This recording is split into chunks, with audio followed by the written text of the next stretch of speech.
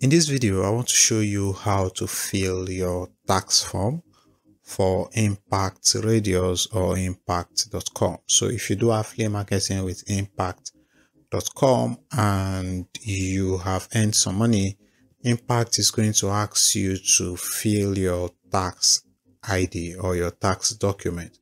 So in this video, I want to show you how to fill it, especially if you do not um, reside in the United States or if you do not have a um, a tax number or a tax ID. So the first step is of course to come to your dashboard and depending on the kind of payment threshold you've set inside of impact.com after some time you are going to feel you are going to get this pop-up right here that says a W8 electronic tax document is required before a payment can be made. So submit your tax document. So you click on this. So automatically this is going to come up and it's going to stay here until you fill it up. So you just come here, you click on it and then it's going to take you to the tax, the where you fill your tax information. So after that, you're going to come to an interface like this and the W9 is basically for um, I think people who live in the United States or um, but this is the one we want. We want to fill this W8BEN. So you click on that and then you click on continue. This is of course if you are a regular person and not a business. So you click on continue. So as you can see again, it says in order to be paid, you need to supply a valid and a duly signed W9 or W8 B-E-N or W8-B-E-N-E form. So the, the onus is on you to um, ensure that the name provided agrees with any banking information you provided. So this is actually important because in my, I talked about this in one of the videos I made already. So in my other account, my payment was withheld or was delayed because I added an account that was different from the name I was using in the account in the um, the platform or on the platform.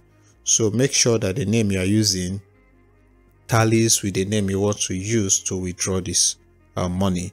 So after all of this, you can say okay, continue so that you you see the form. So this is the form we want to fill and automatically it shows you the important places that you need to fill. So in this case, we are going to fill the name, then we select the country, we are going to select the permanent address, the city and town, the country again.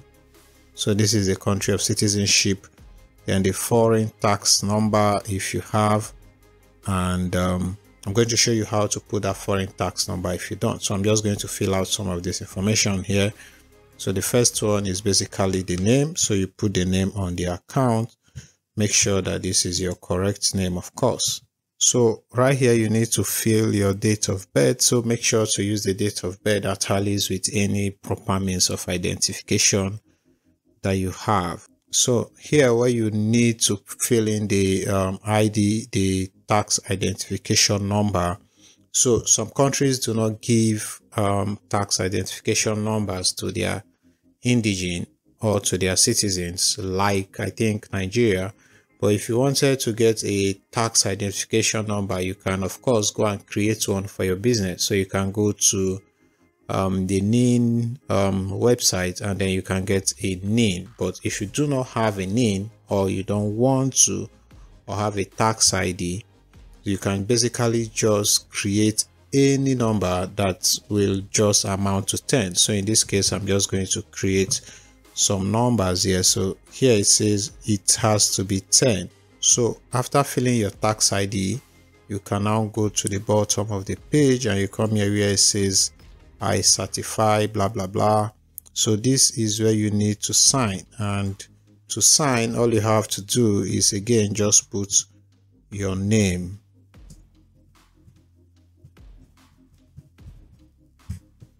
so after putting your name you can see that we are ready to go. So you click on finish. So here where it says you have to sign just as you can see this is our name and um, you can say adopt and sign. This of course becomes your signature. You come here you click on finish. So as you can see it says here thank you for submitting your electronic tax document and blah blah blah. So you are basically done. So this is how to submit your tax id to impact.com or your tax document. I hope this video was helpful. Please like this video subscribe and um, i'll see you in my next video. Bye bye